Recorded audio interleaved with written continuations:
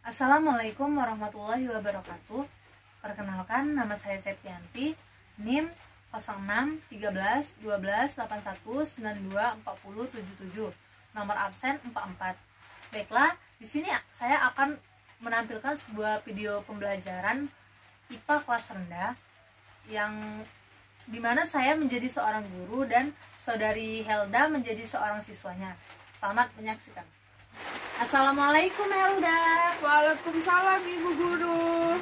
Helda apa kabar? Alhamdulillah luar biasa Allah Akbar. Sudah siap belajarnya? Siap Bu. Nah, Ibu mau tanya, sebelum kita mulai pembelajaran, Helda tadi pergi sekolahnya sama siapa? Tadi diantar Papa Bu. Wah, naik apa? Naik motor Bu. Ya, tadi sarapan tidak? Sarapan Bu dimasakin eh, Mama nasi goreng. Wah, pinter ya. Helda jangan lupa sarapan ya tiap pagi, biar semangat sekolahnya. Ya Bu. Nah, sebelum kita mulai pembelajaran, kita itu harus berdoa dulu ya. Ayo Bu. Helda pimpin ya doanya. Doa mulai. Bismillahirrahmanirrahim. Rabbi zidni ilma warzuqni fahma. Amin. Terima kasih Helda. Sama-sama Bu. Nah, jadi hari ini itu kita akan belajar tentang subtema 1 yaitu bumi bagian dari alam semesta. Nah, sebelum kita mulai, Ibu itu mau tanya sama Helda. Kalau di siang hari di langit itu ada apa? Eh, ada matahari Bu. Ya, benar ya. Terus kalau malam ada apa di langit? Eh, ada bulan Bu. Satu lagi? Hmm, ada bintang. Ah, pinter ya. Nah, jadi se- selanjutnya itu Helda buka ya halaman 2. Nah, Helda Ibu baca dulu ya dari awal, nanti Helda lanjutkan. Baik Bu. Nah, kita akan mengamati tentang teks yang berjudul Berkunjung ke Planetarium. Hari Senin, siswa kelas 3 SD Nusantara akan kar- akan karya wisata mengunjungi planetarium. Planetarium berada di Jalan Merkurius nomor 45. Udin dan teman-teman sangat senang dan datang lebih pagi ke sekolah. Mereka sudah tidak sabar lagi ingin segera menuju ke planetarium. Buka ya halaman 3. Nah, ini kan masih ada teksnya. Ya. Helga silakan baca ya. Planetarium adalah suatu tempat yang dapat menunjukkan susunan bintang dan benda langit. Informasi pergerakan benda langit dan sejarah alam semesta juga bisa kita dapatkan di sana. Planetarium dilengkapi alat teropong bintang. Mulai teropong bintang, kita dapat mengamati benda langit dengan lebih dekat dan jelas. Ya, sudah ya. Terima kasih Helda. Nah, coba Helda buka halaman selanjutnya. Wah, ini ada berapa pertanyaan? Ayo coba dihitung. Satu, Ya. dua, tiga, empat, dan lima, Bu. Iya, benar. Ada lima ya. Nah, sekarang kita coba jawab pertanyaan nomor satu. Helda baca apa pertanyaannya? Apa yang dimaksud dengan planetarium? Ingat tidak Helda apa jawabannya? Ingat, Bu, ada di halaman dua tadi. Nah, ayo kita lihat ya di teksnya tadi. Ya, Bu. Apa yang dimaksud dengan planetarium? Nah, ayo jawab Helda. Nah, ini, Bu. Planetarium adalah suatu tempat yang dapat menunjukkan susunan bintang dan benda langit. Ya, bagus, pinter ya. Nah, ini pertanyaan nomor 2 sampai nomor 5 ini Ibu kasih tugas ya. Nanti Helda kerjakan di rumah. Nah, untuk jawabannya Helda langsung tulis saja di buku ini. Oke, Bu. Nanti dikumpul pertemuan selanjutnya ya. Baik, Bu. Nah, selanjutnya buka halaman 7. Nah, ada gambar apa itu? Wah, ini gambar planet-planet kan, Bu? Nah, jadi kan di gambarnya sudah ada gambar-gambar ya. Untuk lebih nyatanya, ibu punya alat peraga. Ini namanya alat peraga sistem tata surya. Jadi Helda akan mengamati gambar-gambar yang ada di alat peraga ini. Sebelum kita belajar lebih lanjut tentang alat peraga ini, Helda ada yang ingin ditanyakan? Ada Bu, Ya, apa tuh? yang ingin Helda tanyakan, apakah matahari itu termasuk planet-planet Bu?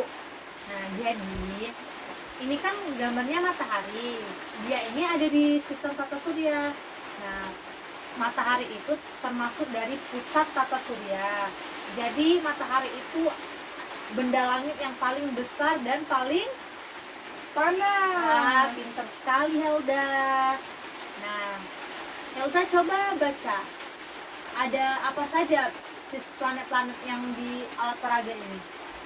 Yang pertama ada Merkurius. Nah, nanti ya sebelum kita lanjut, Helga coba sebutkan ciri-ciri Merkurius itu apa? Oh, dia eh, memiliki warna keabu-abuan Bu. Ya, bagus ya. Iya, benar. Merkurius itu warnanya agak keabu-abuan. Terus Merkurius itu dia itu merupakan planet yang paling kecil di antara planet-planet lainnya. Nah, lanjut. Yang nomor dua ada planet apa? Eh, planet Venus bukan Bu? Iya, benar ya. Nah, tadi kan Helga sudah menyebutkan ciri-ciri dari planet Nah, Merkurius. kalau ciri-ciri planet Venus itu apa? Dia seperti ke kuning-kuning keabuan Bu. Ya, benar ya.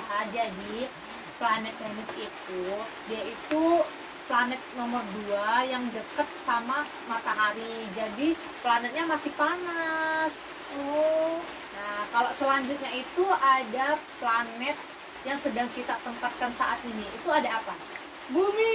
Nah, benar ya. Coba tunjuk yang mana Yang bumi. ini kan Bu, kita tempat tempat kita tinggal. Iya benar, Helga tinggalnya di bumi, itu di kerak bumi ya.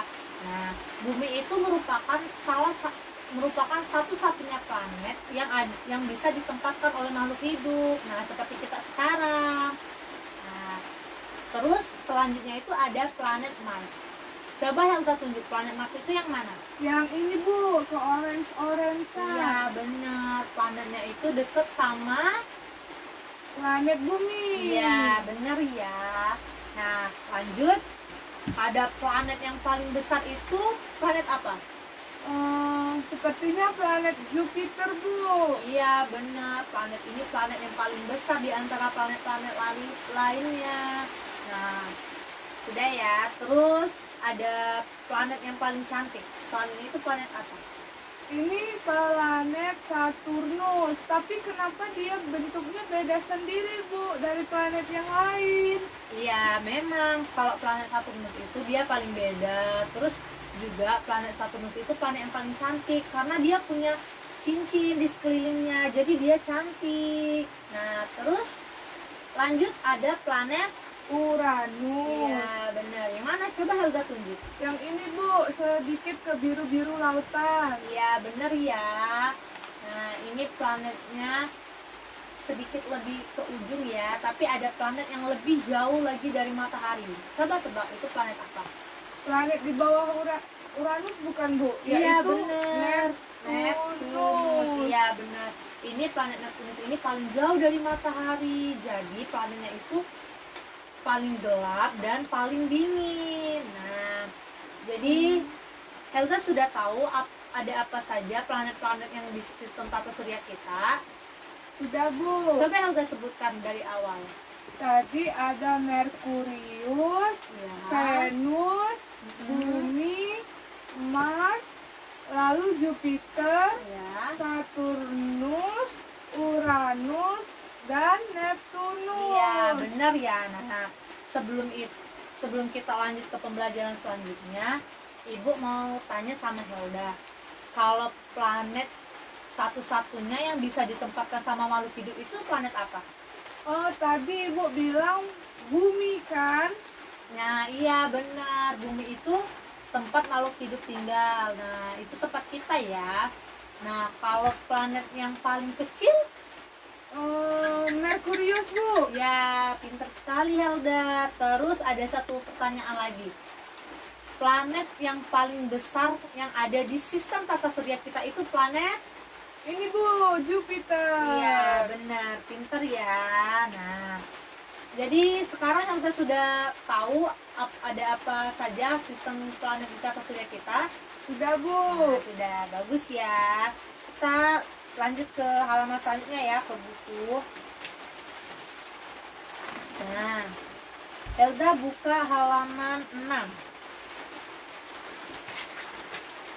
Nah, Ibu Ibu juga mau tanya sama Elda. Nah, Elda pernah tidak pergi ke suatu teater planetarium di sini? Pernah, Bu. Waktu itu lagi liburan, jadi Helda ke sana. Wah, bagus ya. Itu liburannya sama orang tua ya, sama Iya, keluarga. Bu. Nah, kalau Helda pernah ke sana, Ibu mau mau kasih tugas satu lagi sama Helda. Helda nanti tulis di buku catatannya tentang pengalaman Helda, tentang pengalaman yang seru Helda pergi ke planetarium ya. Baik, Bu. Jadi tugasnya ada berapa? Ada dua, Bu. Yang tadi di halaman Di halaman 4, ya sama lalu di halaman 6. ya nanti kita nanti Helda kumpul di pertemuan selanjutnya ya. Baik, Bu. Nah, jadi tadi kan kita sudah belajar di alat peraganya tentang sistem tata surya yang ada di di angkasa ya. Nah, menurut Helda em, bentuk dari sistem tata surya itu, kita itu bentuk dari planet-planetnya itu seperti apa? Seperti bola, Bu. Iya, Bulat. Ya benar ya. Bentuknya itu rata-rata seperti lingkaran. Nah, jadi eh, ibu punya kertas. Ini punya kertas ya. Nah, ini ibu kasih sama Helda satu ini. Nah, sekarang kita buat lingkaran seperti bentuk bumi. Bumi itu ingat tak tidak tidak Helda apa itu bumi? Tempat kita tinggal kan, Nah, Bu? iya bener. Nah, sekarang kita buat lingkaran dulu ya. Seperti ini. Nah. Nah, kita buat seperti ini ya.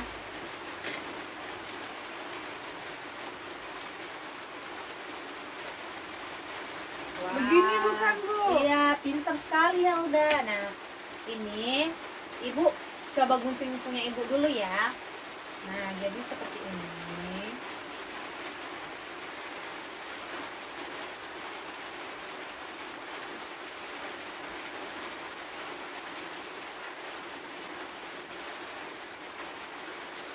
Nah, ini Helda coba gunting punya Helda.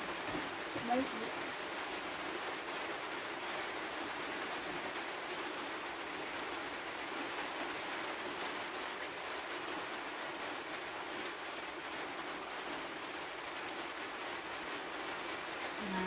Sudah, Bu. ya. Coba Helda tempatkan di sana, Di, di bumi. Di bumi. Nah, Ini, jadi Bu. ya ya benar ya. Jadi sudah ya. Nah, jadi sekilas bentuk bumi kita itu dan bentuk planet-planet lainnya itu bentuknya bulat. Nah, kecuali bentuk dari planet yang cantik tadi planet apa? Planet Saturnus. Ya, benar. Planetnya itu punya cincin ya. Iya, Bu. Sudah. Nah, sudah ya Helda. Pembelajarannya kita cukupkan sampai di sini. Dan tapi eh, sebelum Ibu tutup pembelajarannya, Ibu mau tanya lagi sama Helda. Tadi kita belajar tentang apa saja? Tadi kita belajar eh, tentang tata surya, Bu. Bumi bagian dari alam semesta. Nah, iya, benar ya. Nah, terus Ibu mau mengingatkan sekali lagi. Helda tadi punya tugas dari Ibu. Iya, Bu, benar. Nah, tugas yang pertama itu Menjawab pertanyaan nomor 2 2 sampai nomor 5. Iya benar Nah terus tugas yang satunya lagi Membuat pengalaman yang menarik tentang berkunjung ke planetarium, Bu. Nah ya benar ya Nah jadi pembelajarannya ibu tutup sampai di sini tapi sebelum kita tutup pembelajarannya kita itu harus berdoa dulu tadi kan di awal sebelum pembelajaran kita sudah berdoa jadi di akhir pembelajaran kita juga harus berdoa ayo Helda pimpin doanya Baik Bu. Bismillahirrahmanirrahim.